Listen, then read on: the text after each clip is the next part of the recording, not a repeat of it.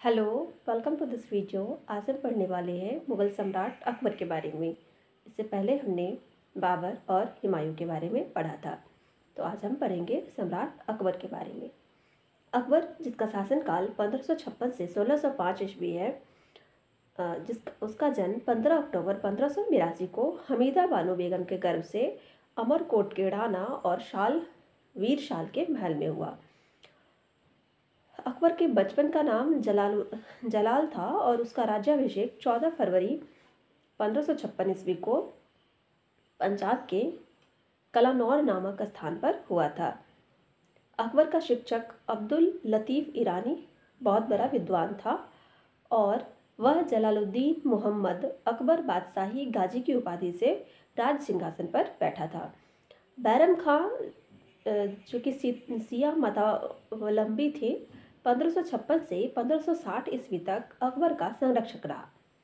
वह बदख्स खां का निवासी था और उसे प्यार से खानी बाबा कहा जाता था। पानीपत की दूसरी लड़ाई 5 नवंबर 1556 ईस्वी को अकबर और हेमू के बीच में हुई थी और इस युद्ध में अकबर विजयी हुए था। फिर 31 जनवरी 1561 को मक्का की तीर्थ यात्रा के दौरान पाटक नामक स्थान पर मुबारक खां नामक युवक ने बैरम खां की हत्या कर दी। वही बैरम खां जो कि अकबर के संरक्षक रहे थे। मई पंद्रह में अकबर ने हरम दल से अपने को पूर्णतः मुक्त कर लिया। हरम स्त्रियों का मतलब जो भी रानियाँ रहती थी तो उन का जो हेड होता था तो उन सब कार्यों से अकबर ने अपने आप को मुक्त कर लिया। हल्दी घाटी का युद्ध महाराणा प्रताप और अकबर के बीच 18 जून पंद्रह ईस्वी में होता है और मेवाड़ के शासक महाराणा प्रताप एवं अकबर के बीच हुए इस युद्ध में अकबर विजयी होता है। और इस युद्ध में मुगल सेना का नेतृत्व मान सिंह एवं आसफ खान ने किया था। और इसमें अकबर का सेनापति मान सिंह था।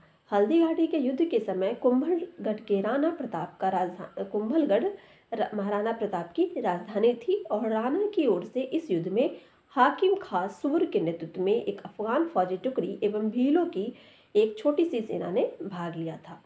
महाराणा प्रताप की मृत्यु 19 जनवरी पंद्रह ईस्वी में एक सख्त धनुष की प्रत्यंचा चढ़ाते समय अंदरूनी चोट लग जाने के कारण हो गई। हल्दी घाटी युद्ध के बाद महाराणा प्रताप ने डूंगरपुर के निकट चावर में नई राजधानी बनाई। महाराणा प्रताप के घोड़े का नाम चेतक एवं हाथी का नाम राम प्रसाद था। अगर बात करें अकबर की तो अकबर ने दीन लाही धर्म का स्थापना की थी और अकबर दीन लाही धर्म का प्रधान पुरोहित था। दीन लाही धर्म स्वीकार करने वाला प्रथम एवं अंतिम हिंदू शासक राजा बिरबल था और महेश दास नामक ब्राह्मण को राजा बिरबल की पदवी दी गई थी, जो हमेशा अकबर के साथ रहता था। बिरबल अकबर का प्रिय मंत्री था। अकबर ने जैन धर्म के जैनाचार हरिविजय शूरी को जगत गुरु की उपाधि प्रदान की।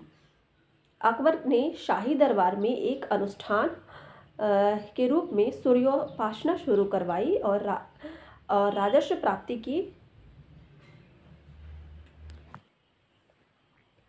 अकबर ने जैन धर्म के जैनाचार्य हरिविजय शूरी को जगत गुरु की उपाधि प्रदान की थी। अकबर ने शाही दरबार में एक अनुष्ठान के रूप में सूर्योपासना शुरू करवाई। राजस्व प्राप्ति की जब्ती प्रणाली अकबर के शासनकाल में प्रचलित थी। अकबर के राजा, दीवान राजा टोडरमल ने 1580 ईस्वी में दह साल बंदोबस्त व्यवस्था लागू की थी। इसमें दस साल के लिए भूमि राजस्व को फिक्स किया जाता था। इसके अलावा अकबर के दरबार के प्रसिद्ध संगीतकार तानसेन थे। गुजरात विजय के दौरान अकबर सर्वप्रथम पुर्तगालियों से मिला और यहीं उसने सर्वप्रथम समुद्र को देखा था। अकबर के दरबार के प्रसिद्ध चित्रकार थे अब्दुल समद। दसवंत एवं बसावन अकबर के दरबार के प्रसिद्ध चित्रकार थे। अकबर के शासनकाल के प्रमुख गायक थे तानसेन, बाज बहादुर, बाबा रामदास, बैजू बाबरा। अकबर के शासन प्रणाली की प्रमुख विशेषता मनसबदारी प्रथा थी। अकबर के समकालीन संत थे शेख शलीम चिश्ती। अकबर की मृत्यु 16 अक्टूबर 1605 ईस्वी में हो जाती है और और इसे आगरा के निकट सिकंदराबाद में अकबर को दफनाया जाता है। स्थापत्य कला के क्षेत्र में अकबर की महत्वपूर्ण कृतियों को देखें तो दिल्ली में हुमायूं का मकबरा, आगरे का लाल किला, फतेहपुर शेकरी में शाही महल, दीवाने खास, पंचमहल, बुलंद दरवाज़ा जोधा भाई का महल, इबादत, खाना, इलाहाबाद का किला और लाहौर का किला। ये सारे जो भी आर्किटेक्चर हैं वो सब अकबर के द्वारा बनवाए गए थे। अकबर के दरबार में के शोभित करने वाले नौ रत्न थे। अबुल फजल, फैजी तानसेन बिरबल, टोडरमल, राजा मान सिंह, अब्दुल रहीम, खाने खाना, फ़कीर फजीउद्दीन, मुल्ला दो प्याजा। इसके अलावा अबुल फजल का बड़ा भाई फैजी अकबर के दरबार के राजकवि के पद पर आसीन था। अबुल फजल ने अकबर नामा ग्रंथ की रचना की और यह दीन इलाही धर्म का मुख्य पुरोहित था। संगीत सम्राट तानसेन का जन्म पंद्रह सौ ईस्वी में ग्वालियर में एक ब्राह्मण परिवार में हुआ था और उनका असली नाम रामतनो पांडे था और उनकी प्रमुख कृतियाँ मियाँ की टोड़ी मियाँ की मल्हार, मियाँ का सारंग, दरबारी कान्हेरा इत्यादि थी। और तानसेन अकबर के दरबार के गायक थे। संगीतज्ञ थे, महान संगीतज्ञ थे तानसेन और कंठारण्य वाणी विलास की उपाधि अकबर ने तानसेन को दी थी। तानसेन अकबर के दरबार में आने से पूर्व रीवा के राजा रामचंद्र के यहाँ राजाश्रय में थे। अकबर ने भगवान दास, जो कि आमेर के राजा भारमल के पुत्र थे, को अमीर उल उमरा की उपाधि दी थी। यूसुफ जायू के विद्रोह को दबाने के दौरान बीरबल की हत्या हो गई थी।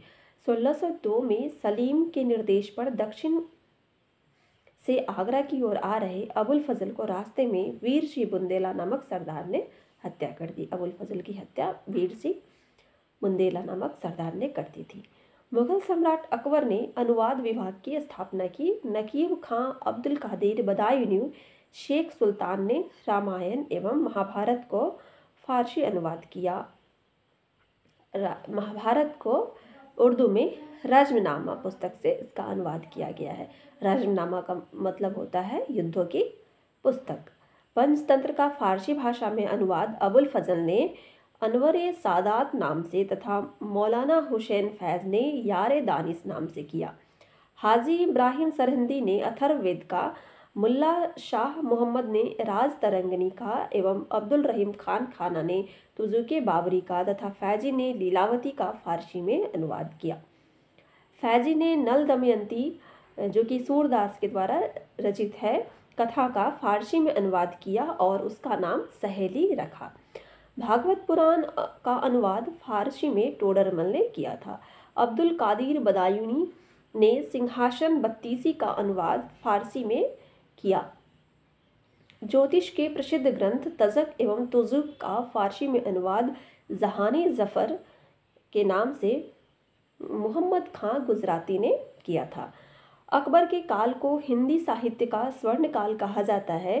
अकबर ने बीरबल को कवि प्रिय एवं नरहरि को महापात्र की उपाधि प्रदान की। बुलंद दरवाज़ा का निर्माण अकबर ने गुजरात विजय के उपलक्ष्य में करवाया था। चार बाग बनाने की परंपरा अकबर के समय में शुरू हुई थी। अकबर ने शीरी कलम की उपाधि, अब्दुल समद को एवं जरी कलम की उपाधि, मोहम्मद हुसैन कश्मीर को प्रदान की थी। और उस समय मुग़लों की राजकीय भाषा की बात करें तो राजकीय भाषा फारसी थी। अकबर नगारा वाद्यंत्र बजाता था। अगर हम बात करें अकबर के द्वारा किए गए कुछ महत्वपूर्ण कार्य की और उसके ईस्वी सन की तो अकबर के द्वारा दास प्रथा का अंत पंद्रह ईस्वी में किया जाता है। अकबर को हरम दल से मुक्ति पंद्रह ईस्वी में, वहीं तीर्थ यात्रा कर की समाप्ति पंद्रह में, जजिया कर की समाप्ति पंद्रह ईस्वी में, फतेहपुर की स्थापना एवं राजधानी आगरा से, फतेहपुर सिकरी स्थानांतरण पंद्रह ईस्वी में, फतेहपुर फिर इबादत खाने की स्थापना पंद्रह इबादत खाना में सभी धर्मों के लोगों को प्रवेश की अनुमति पंद्रह सौ अठहत्तर, मजहर की घोषणा पंद्रह सौ उनासी, दीन इलाही की स्थापना पंद्रह सौ बिरासी, इलाही संवत की स्थापना पंद्रह सौ तिरासी, राजधानी लाहौर स्थानांतरित पंद्रह सौ पचासी। वहीं अकबर के समकालीन शासक थी रानी एलिजाबेथ, पंद्रह सौ अंठावन से सोलह सौ तीन, इंग्लैंड, शाह अब्बास, पंद्रह सौ अठासी से सोलह सौ उनतीस, ईरान और जार ईवान चतुर्थ बिस्लियावित पंद्रह सौ तीस से पंद्रह सौ चौरासी रूस के थे। तो इस प्रकार हमने आज सम्राट अकबर से संबंधित कुछ महत्वपूर्ण तथ्यों को और जाना और नेक्स्ट वीडियो में फिर हम अगले शासक जहांगीर की चर्चा करेंगे।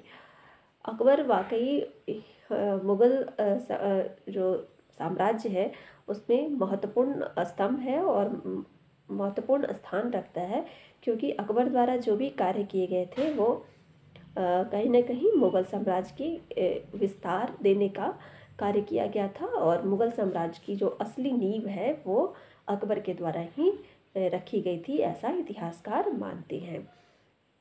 इसके अलावा अकबर काफ़ी उदार शासक था और उसने हिंदू और मुस्लिमों को, दोनों को साथ में रखने के लिए दोनों को साथ में लेकर शासन किया था, जिसकी वजह से काफ़ी वो लोकप्रिय भी हुआ था। इसके अलावा अकबर अपने राजपुताना जो नीति है, इसके कारण भी काफ़ी चर्चा में रहा था। तो इस प्रकार आज हमने अकबर के बारे में जाना है। फिर अगली क्लास में जहांगीर के बारे में चर्चा होगी। Till then bye we will meet in next video thanks for watching Please like and subscribe this channel for more such video.